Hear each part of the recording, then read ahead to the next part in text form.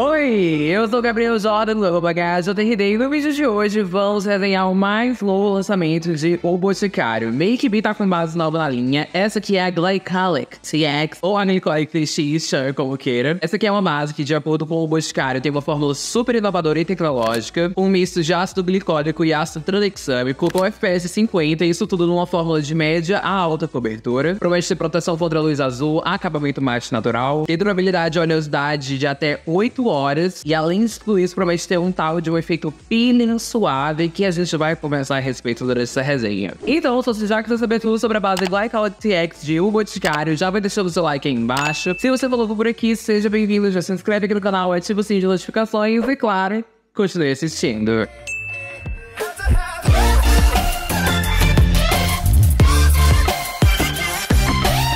Gente, vamos lá. Vou começar lendo pra vocês a premissa da base. Vou cortar um pouco da baboseira pra vocês, mas basicamente promete que a Glycolic CX é pioneira em inovação, sendo a primeira base do mundo que reduz manchas da pele causadas pelo sol. Ainda bem que eles não disseram que foram os primeiros a prometer isso, né? Porque essa promessa a gente já ouviu antes em outros produtos, mas diz aqui o site que esse produto tem vários ativos, assim como eu falei pra vocês lá na introdução, que é um misto de ácido glicólico e ácido tranexâmico com FPS 50 que oferece proteção e cobertura para uma pele revitalizada e uniforme, e é um tratamento para peles mistas e oleosas, que é exatamente o meu caso. Além de reduzir as manchas aqui, diz que ele uniformiza o tom da pele em até 8 semanas, né? Que se reduzir as manchas, automaticamente já vai uniformizar o tom, né, gente? Momentos. Mas além disso, promete uma entrega de um efeito peeling suave e melhora a aparência de rugas e linhas de expressão. Gente, inclusive eu atrasei tanto a resenha dessa base que eu fiz um peeling, né? No estética mesmo, um peeling de verdade, de ácido salicílico. E minha pele ficou ficou uma desgraça. Tive que esperar voltar uma mão.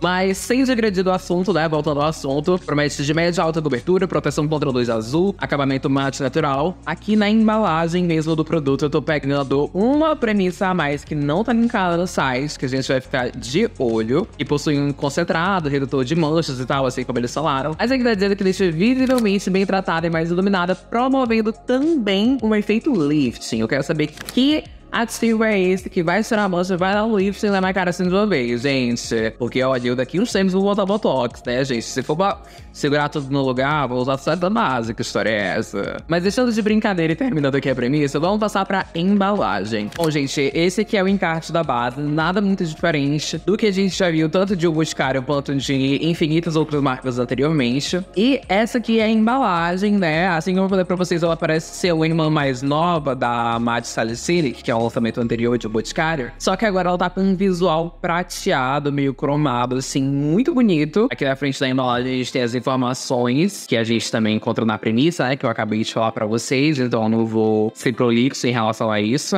E pelo que eu tô conferindo aqui no site de Boticário, existem 14 tons pra essa base. E pra apenas 14 tons, eu acho que eles fizeram uma distribuição bem feita, tá certo? Eu fui a uma boutique de Boticário e a vendedora me auxiliou e me disse que a cor é a 210, gente. Na verdade, ela tava teimando que minha cor era outra. Eu teimei que a minha cor era 210. Se ficar errada, a culpa é minha, que a mulher tava teimando que era outra, mas eu disse que era essa. Então foi essa. Vamos passar pro próximo tópico, que é a textura, gente. Eu poderia fazer uma resenha super linda e profissional, assim como todas as minhas outras, mostrando na minha paleta de metal, mas eu esqueci de lavar ela, então vai ser na minha mão mesmo. Essa aqui é a textura da base, é uma base assim líquida, né, gente? Ela escova, tipo, muito discretamente. Olha só, eu vou passar aqui o dedo.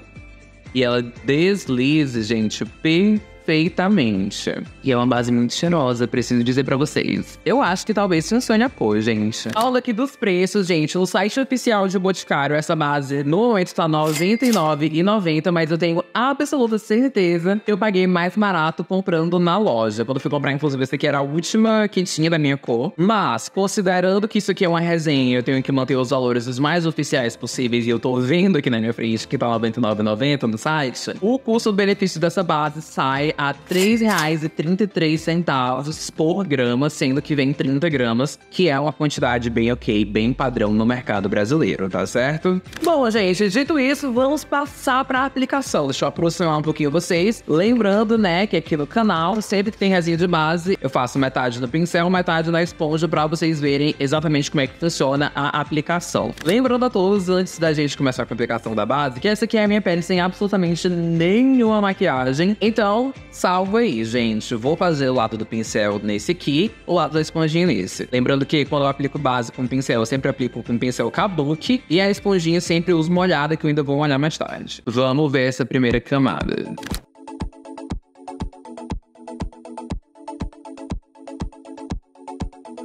Olha, fiz algumas linhas espalhadas pelo rosto, lembrando que essa base prometeu ser de média a alta cobertura. Quando promete essas coisas, eu já acho que vai ser de média. Mas vamos lá.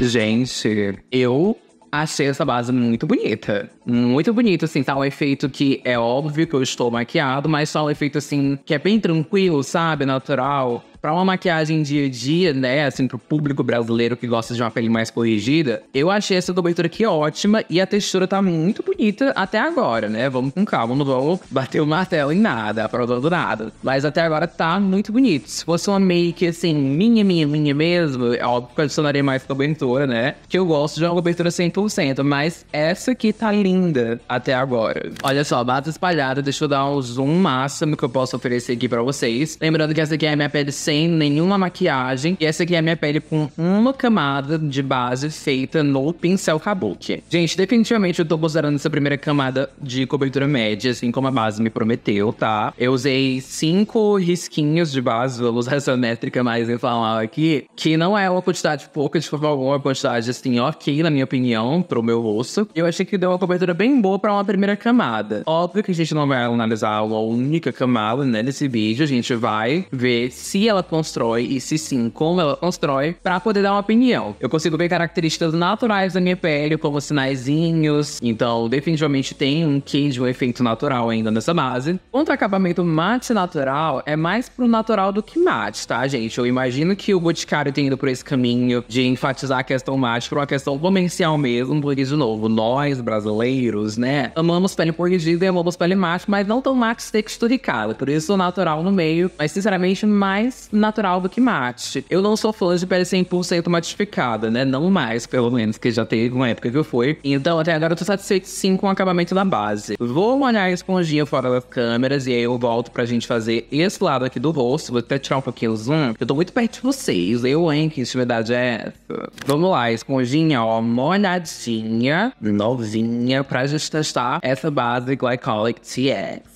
Vou fazer mais ou menos a mesma quantidade, que foi essa métrica mais informal. Lembrando a todos vocês que é costumeiro que o lado da esponjinha, obviamente, fique com menos cobertura e com acabamento mais natural, porque a esponjinha absorve produto. Então, para bases assim de média cobertura mais naturais, eu sou muito fã de aplicar com um pincel, porque eu gosto de um efeito exagerado. Se você gosta de um efeito mais natural, aposte na esponjinha. Olha só, gente, para esse primeiro momento, eu sinceramente diria que não tem quase nenhuma diferença, exceto, obviamente, pelo produto que se absorveu, né? Ter feito com que a cobertura se atenuasse um pouquinho desse lado. Mas, gente, no geral, tá uma pele bonita, na minha opinião, natural, tanto para os meus padrões, que são exageradíssimos, quanto para os padrões brasileiros, né? Mas, gente, olha só, uma camada da base no pincel Kabuki metade, metade. E uma camada da base na esponjinha. Definitivamente tá um pouco mais natural do que o outro lado. Talvez esse aqui com corretivo de alta cobertura eu ainda desse um truquinho, mas sendo na esponjinha eu definitivamente precisaria de uma segunda camada, que eu faria aqui nesse vídeo pra gente testar independentemente. Então vamos voltar para o pincel para a gente começar a construir a segunda camada e ver se as minhas opiniões mudam drasticamente ou não.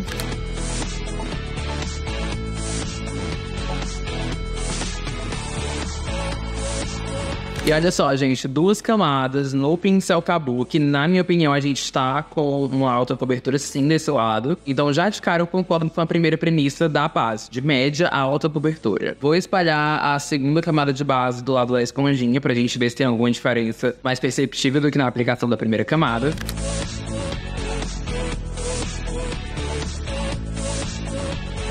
E essa aqui é a comparação de duas camadas de base aplicadas com ferramentas diferentes. Duas no pincel Kabuki, meio a meio, duas da esponjinha.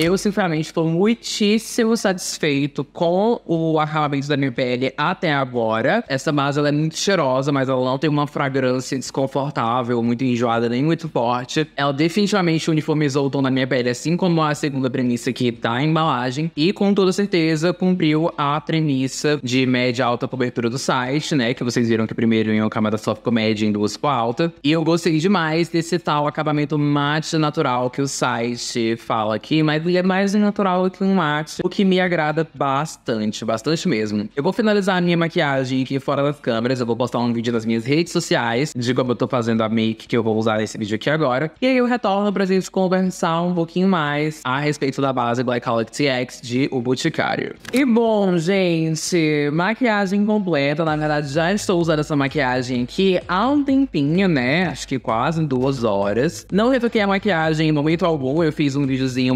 mostrando como é que eu terminei a maquiagem que vai para as minhas redes sociais. Mas falando do pó, né? Que é uma parte muito importante da finalização da maquiagem, principalmente quando a gente está avaliando uma base, eu concentrei o pó bastante aqui abaixo dos olhos e também na lateral do nariz, aqui nos sulcos nasogenianos, que são as áreas onde eu mais sou propenso a craquelar durante o dia. E no restante do rosto, eu simplesmente passei de forma levíssima com o pincel só pra dar aquela selada básica e finalizei minha maquiagem como se nada houvesse, como sempre faço. Com essas algumas horas de uso da maquiagem, gente, eu sinceramente estou achando a minha pele muito bonita ainda. É, eu perdi um pouco de cobertura discretamente no geral, né, pelo rosto inteiro, independentemente se foi do lado da aplicação com o pincel kabuki ou do lado com a esponjinha. E até agora a minha pele tá assim, lembrando que eu não apliquei iluminador em lugar nenhum, todo o brilho da minha pele que vocês estão vendo é dela própria, exceto, óbvio, que no osso da sobrancelha aqui no cantinho único, eu passei iluminador só pra não ficar só no marronzinho da sombra, né, gente? Mas no resto, onde tem brilho na pele é oleosidade. E falando em oleosidade, até agora nenhuma bolsa de oleosidade, vamos dizer assim, surgiu. Mas voltando para os tópicos, né, do vídeo, pra gente fazer essa resenha completinha, organizadinha, falando da minha experiência no Testor, essa base é extremamente confortável. Extremamente confortável. Falando bem real pra vocês, essa é uma das bases mais confortáveis que eu já usei, mas não é a mais confortável. Ela não é uma BT Skin da vida, ela é uma base líquida, fina, porém ainda é um pouquinho mais densa do que outras bases. Sinceramente, de vestir a base, assim, nesse sentido de confortabilidade, a minha nota é 10. Falando do checklist de premissa dessa base que tanto promete, promete tanta coisa que não vai ter nem como a gente avaliar todas as premissas dela, porque muita coisa é a longo prazo, mas vamos falar do que a gente pode. Tendo aqui em ordem, tá, pessoal? Ela promete ser a primeira base do mundo que reduz manchas na pele causadas pelo sol. E aqui tem uma observação de que é após 56 dias de uso contínuo, de acordo com os testes, houve redução significativa de manchas solares. E sinceramente, eu acho que esse é um compromisso muito difícil de alguém se ater, usar a mesma base durante 56 dias seguidos. Aqui não diz especificamente a motivação desses resultados, mas eu imagino que os ativos sejam os próprios ácidos que são o grande carro-chefe dessa base. Mas não vou afirmar para vocês porque aqui no canal funciona assim, gente. Eu só afirmo as coisas se eu tiver testado e eu não vou testar 56 dias a mesma base. Mas não duvido que, né, tenha alguma diferença. Partindo aqui na ordem das premissas, né, ele promete ser um tratamento para peles mistas e oleosas, tendo um blending, né, de ácido glicólico e ácido tranexâmico. Falando um pouco do ácido glicólico, que eu sou mais familiarizado, ele realmente é interessante para peles oleosas. Eu sou mais adepto do ácido salicílico, né, que inclusive é o da base anterior de Boticário. Se vocês quiserem que eu traga um vídeo comparando as duas, vou em uma loja de Boticário e comprar salicílico para comparar com a glicólico, mas é um ácido igualmente interessante. E falando em palavras bem superficiais, tá? Lembrando que eu não sou dermatologista, eu só sou influenciador digital, gosto muito de maquiagem, gosto muito de skincare, compartilho o que eu sei. O ácido tranexâmico, basicamente, ele tem propriedades anti-inflamatórias e além disso, ele estimula a produção de melanina. Então, isso ajuda no processo de despigmentação das manchas existentes e ajuda a prevenir novas manchas escuras a aparecerem no rosto. Inclusive, muito possivelmente, esses resultados de diminuir as manchas após 56 dias de uso, que eu não vou fazer eu acho também que vocês do outro lado da tela não tá interessado em fazer, se dão pelo ácido tranexâmico, que é o responsável nessa questão da melanina e de uniformizar o tom da pele. Então, realmente, são dois é, ácidos interessantíssimos para você ter a sua rotina de forma mais enfocada, né, na minha opinião, o glicólico. FPS 50, a gente tá cada vez mais vendo no mercado marcas que aliam o skincare à maquiagem, né, os famosos dermomates. Isso aqui, por exemplo, se enquadraria no dermomake, né? Isso aqui,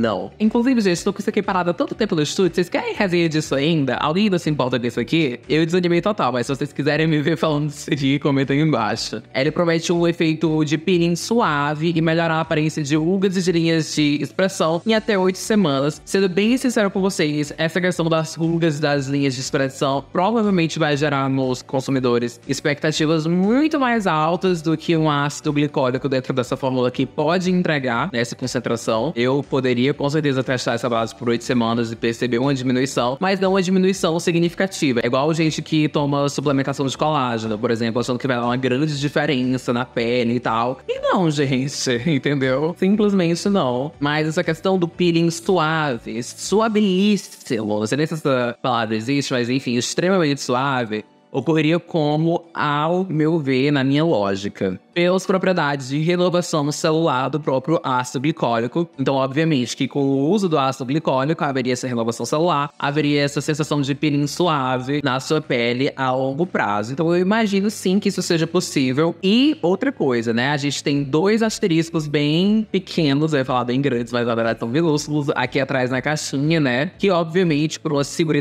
legal, eles especificam que o efeito peeling suave, ele se relaciona aos resultados obtidos em relação às manchas solares. Mas é claro que a gente vai ver de um ponto de vista comercial isso sendo levado para um outro turno, outro caminho, né, na verdade. E não vai ser difícil a gente ver outras pessoas é, se enganando em resenhas ou comprando produto intencionando algo que elas não vão ter em troca. Mas falando do que eu posso confirmar para vocês, né? Vamos mudar de assunto para as coisas que de fato a gente viu. Média alta cobertura.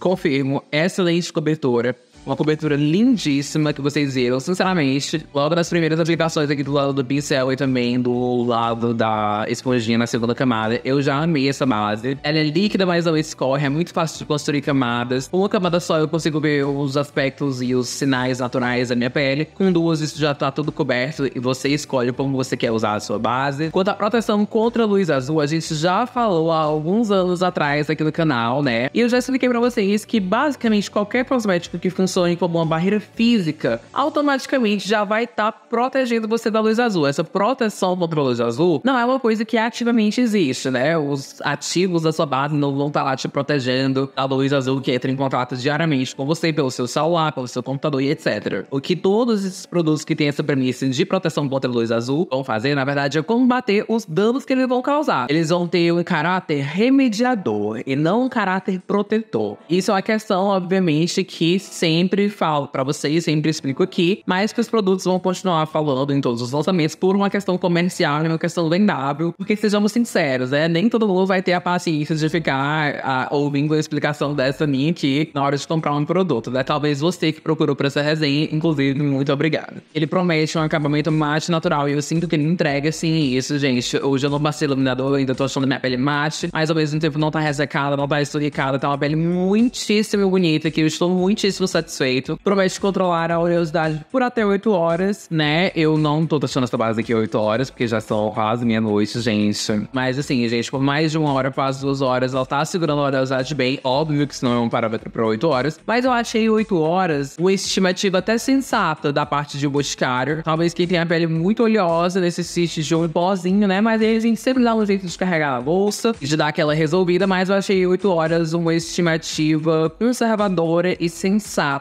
porque tem marcas que te entregam aí, ai, 48 horas, ai, 36 horas, ai, não sei o que, não sei o que. E aí você vai ver a base com 3 horas só no lixo, né, gente? Então, momentos. E promete ser dermatologicamente testado, o que é o que eu minimamente espero de uma marca do tamanho de um Boticário, não é mesmo? E finalizando dizendo que a maquiagem Make B é Dermomake, olha aí, lembra do Dermomake que eu falei pra vocês, que era o sonho da Virgínia ser? Que é uma maquiagem que trata a pele com sofisticação temporal. E basicamente, gente, é isso. Finalizando o checklist de premissa e passando das minhas opiniões e considerações. Sinceramente, eu não tenho muitas considerações a fazer. A embalagem é ok, eu achei o preço ok, achei a cartela de cores ok, achei as premissas que eu pude testar hoje ok. A respeito das premissas de longo prazo, eu não vou confirmar pra vocês, porque assim como eu falei, eu só confirmo o que eu testo. Mas, gente, definitivamente, se você estiver procurando uma base com uma textura boa, uma construção de acabamento natural, não no sentido de baixa cobertura, no sentido de parecer pele, entendeu? Que tem umas bases de alta cobertura que parecem argamassa. E que realmente seja confortável, essa aqui é uma que eu super apostaria. O custo-benefício dela não é o melhor de todos, assim, no mercado nacional, né? Mas se por algum caso esse teor do Dermomake te interessou, e se você gostou da cobertura assim como eu gostei demais, gente, realmente é uma base muito bonita, eu tô muito impressionado, na verdade, não tava esperando gostar tanto assim hoje. E pela própria checklist de premissa nos comentários que eu fui fazendo, vocês já devem imaginar que sim, eu recomendaria essa maquiagem tranquilamente. Achei um lançamento super interessante por parte de Make. Se vocês quiserem um vídeo comparando com o anterior, né, com a Solid Select, eu posso super trazer. Mas por hora, gente, a Glycolic TX tá aprovadíssima, na minha opinião. Então é isso, se você gostou da minha resenha da base Glycolic TX de O Boticário, já vai deixando o seu like aí embaixo. Se você falou por aqui, seja muito bem-vindo, já se inscreve aqui no canal e ativa o sininho de notificações pra não perderem um vídeo novo. Aqui no canal tem várias resenhas de maquiagem, tem vídeos de unha, resenhas de esmalte, vídeos de procedimentos estéticos. Se inscreve aí, ativa o sininho pra não perder nenhum vídeo novo e sai rolando no canal pra você assistir os vídeos anteriores que você ainda não assistiu. Não se esqueça de comentar aí embaixo o que, que você achou, se você já testou essa base ou tá com curiosidade pra testar. Caso você tenha gostado, comenta aí se você gostou. Se você não gostou, comenta a sua experiência pra quem tá pesquisando a respeito dessa base. Escolher direitinho se vai querer ou se não vai querer, que a sua experiência também vai ajudar tanto quanto a minha aqui nos comentários. Não esqueça de me seguir nas minhas redes sociais. Eu sou arroba no Instagram, no Twitter, no TikTok, no Threads, agora que tem até o Threads, agora eu, hein? Vão lá me seguir que eu tô presente em todas as redes sociais, tudo em arroba